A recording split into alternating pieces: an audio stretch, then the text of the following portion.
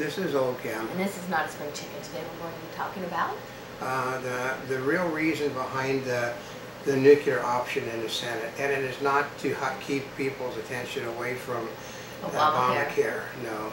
What really is the reason? Okay, the reason is that they have already decided that Obama appointees and federal judges shall only have to have 51 votes. But as I just heard, they were just talking about there, he said everyone knows that it's also going to move over to elections also. Uh, and, and uh, so it will move to the beginning of elections and, and, um, and, and legislation. That they will decide, the Senate decides, uh, you know, if like if there's a, a problem in the Senate, they decide the election there. If they got two people that are dead tied, they go in and they decide it. They also, they said, uh, Evan Weiss said, he said it's just, he, he said that they don't even have to say that it's going to be changed. They've already changed the rules to 51 votes.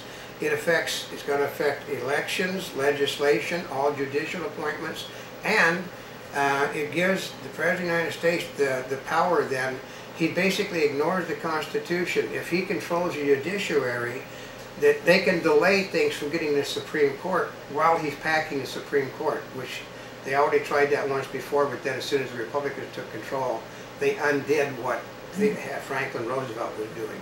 Roosevelt had a 14-man Supreme Court at one time, and they undid that. They did that, Yeah. yeah. Well, they had a veto-proof majority on the next election after he did that. So why is all this important? Well, one of the reasons that we do in the United States have a Congress, which is the House, as well as the Senate, and the executive branch, is so that change comes slow, it's deliberate, It's what the people want. Right, versus what one party would like at the time. Yeah, so what happens is we now, with the nuclear option, he now has um, the control of the judiciary, control of the Senate, and basically control the executive branch, and he ignores the, the, uh, the, okay, every, all, all financial bills are supposed to start in the House. Now they will simply be passed in the Senate, and then. Ignore the House. And ignore the House entirely, which means you're going to get, uh, said you'll end up with immigration reform, you're gonna end up with everything that the president and the left wants on their schedule. But um, the, the guy said, listen to the Democrats a few minutes ago, they said that actually he doesn't understand the reason behind this because he said that he's talked to people in the Senate and the House. They know they're going to get slaughtered in one year. One year, which means Well, they probably don't care. They figured they'll make all these changes within a year. and oh, but here's the thing: is they're going to like what we've done so much. With like the other day, the uh, the the press basically ignored the the takeover of the Senate by the Democrats by saying, "Well, this was you know that uh, this was done for the good of the people." Uh, when the President of the United States basically have, have taken their powers away in Washington D.C. to cover the presidential events, the President's people said, "Well, this was done for the good of the people."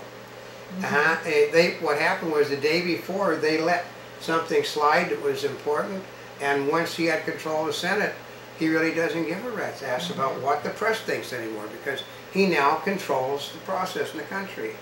But he only controls it for uh, a few months, because the, Well, actually, they'll just change it so they don't have to vote. Uh, that that they, they won't. That's not going to happen there. I mean, the, okay, the president may, mainly knows as long as he controls the Senate of the United States, he cannot be removed from office. But the the Democrats, have- because only the con, a president can only be removed by impeachment. He cannot be removed by any other methods. He can basically rob a bank. Uh, he can basically turn the you know turn the nuclear secrets of our nation over to another country. Only the United States Senate can remove him from office. Mm. So therefore, if he doesn't want to be removed, an election has no effect on him. Mm-hmm. So, but he, he counted on the Senate. But now, he no longer, he, he, the Senate expects that they will lose control because of they're so outraged the people in this nation. Mm-hmm. The House is now expecting to go, they're expecting veto-proof majorities, and he's going to have a judiciary that will soon find itself, as, as what they said there, the Democrats, they said that it's simply going to, okay, for every person that he's appointing to the left, the Republicans, when they take over the House and Senate, will add two to the right. Mm-hmm. So then the country swings for all of a sudden, in a matter, my guess is. It'll swing from the left to the Yeah, right. he, one of the Democratic senators said that he expects in the first 30 days the Republican Party, when they take over the House and Senate entirely, will undo. They will simply stop Obamacare entirely.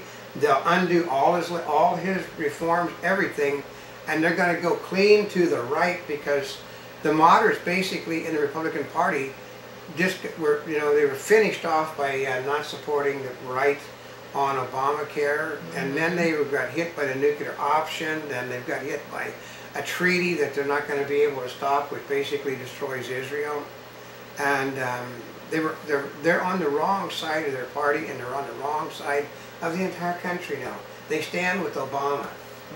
So uh, you know, Which is, which is nuclear. nuclear, yeah, but um, Chris Christie has no chance whatsoever of winning the Republican nomination. They're not going to put in, okay, it also eliminates, what do you think Bill Clinton, Bill Clinton said last night this was a mistake. He said the nuclear option was a mistake. He said that the treaty is a mistake. But because he's trying to protect Hillary's backside, but Hillary's finished Yeah. because they are not going to go to someone, the Democrats will have to put up somebody that they think will go, that, that can convince people that they're in the middle like Obama supposedly did. But it's nobody that, Maybe they'll put in their daughter. well, no, they the, the, it's gonna have to be, it's gonna have to be a non-Clinton and it's gonna have to be a non-Obama.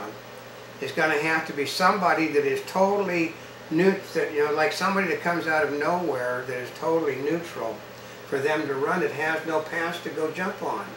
All he does is he looks good on television. Which is what they did when they got Obama. Yeah. have, well, they had some past, but not much of a past. But somebody that doesn't need a teleprompter.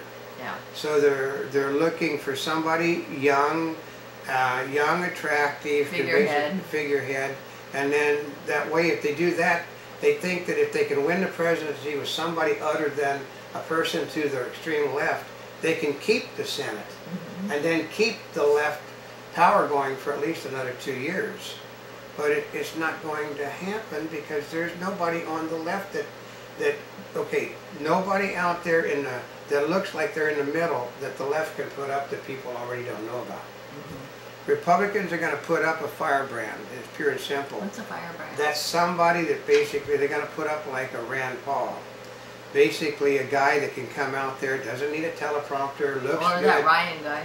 Or Ryan, who basically also he's a, you know, he. he I would have voted for Ryan. yeah, he was the wrong end of the ticket. But they're going to go to somebody that can speak eloquently, and uh, and and just the whole trick is. But uh, most of the people, like a lot of people, I mean, Bill Clinton, I guess he's got to be pulled his hair out. He'd done everything he possibly could do for his wife. And okay, remember, Obama throws everybody under the wheels of his bus. I know. and They, did they forget about that? That They always happens. He's got a history of doing that. Yeah, he's also got, okay, Obama could never be a good poker player because here's what it is. You know that when he, okay, here it is, he's got, he's got a hundred dollars on the table. All of a sudden he pushes two hundred dollars into the pot. They know he's got nothing. He doubled down every time he's losing. Yeah. So you could never be a good poker player by knowing a simple fact that if he pushes two hundred dollars in on your one hundred, he's got no hand Mhm. and you just call him and you walk off with the pot. Republicans, Bill O'Reilly is the biggest offender. Bill O'Reilly has not been able to get it through his head that this guy doubled down. He's doubling down again with the nuclear option, figuring that he will be able to stave off Republican attacks for at least a half a year. Uh, the problem is his thing yesterday, last night, basically bringing um, the, everybody attacking him on his uh, on his basically deal. Okay, what happened was a few months ago he stopped the sanctions without permission on Iran. He had to make a deal to make the sanctions look acceptable now. So he did exactly what the Democrats in the Senate told him not to do. They're still going to vote on new sanctions this week. Oh, and then this morning, the mm-hmm. people that he had that they're all friends with this morning said they have no intention of giving up the enrichment of enrichment, and that the, the stopping of their plant just for six months, and then they're going to restart again. Mm-hmm. So everything Obama last night, it just it's a short-term deal that that this does nothing. They still continue to enrich. They still continue to build. They still continue to do everything. You just give them six months with money coming in and no further sanctions. So, but um, like I said, that was You know, the nuclear option was not a- attempted, to keep your attention away from Obamacare. Like The- some people might have thought. that the Bill O'Reilly and others figured that was the way it was. It was, it had strictly to do with seizure of the country for at least a half a year. But um, you will see, I, I did hear a person say, he said that we should be in the streets protesting this man like the civil rights movement. You can expect that the, if you protest this president, he will double down on you. Because he has all your phone messages, he knows where everybody's at and you guys are in big trouble. But if you don't, it's just, them. we're gonna try something, I mean, that the Walt Disney Company is known as a bunch of SOBs because they defend every inch of their turf to the very end, even if they know they can't win, they defend it. People on the right and the people, independents, have not been defending their turf. They have simply been giving ground. Yeah. And the Obama administration expects you to continue to give ground. You mean it'll be like uh, the Republicans dealing with Obama is like Obama dealing with Iranians? That's right. So they, uh, they give up before they even start. But like, uh, And then what else would you like? yeah, what else do you want? Because they've got, they've got, uh, half a dozen senators that will agree to almost any spending program Obama wants to do. So it's, uh, if you, it's a device that, um, the guy is in control, he's created, he said, most of the people do agree that this is the first king, and they're not calling him dictator, they say this is the first king in this nation's history. What's the difference between a king and a dictator? Um, dictators only get tossed out one direction, kings get tossed out others. So, no, but the Democrats, here it is. If he dam- continues to damage the party, they will impeach him. It's that simple. The, there's too many senators, there's 14 of them that are in trouble. And if he continues to hurt the whole party, they right now expect to lose the majority in the party, but they don't want it to be a supermajority. And that's what they're trying to hold out on. But if he's put 14 senators in danger and Republicans can take all those seats and hold the others, they have an ungodly Never- supermajority. Yeah. So that's what they're afraid of. And uh, they also know Obamacare site is not going to work. They also know that it's totally illegal. And they know that when it goes to the Supreme Court, even, uh, but basically they violated the rules. They said specifically that it is a tax. They are not fees. So, and, uh, and there is no authority to collect taxes. So, so it's just a mess. It's, as we predicted, I think five years ago when you elected Obama, things were going to get worse in this nation, not better, because my family is from Cicero, folks. They know about the guys in Chicago, and they knew about Obama. So, yeah. But uh, you know, actually, we can do it with a simple thing from Mark Twain, that you seldom if ever get the uh, the government you want, but you always get the one you absolutely deserve. No, otherwise you have to wait for it to go to room temperature.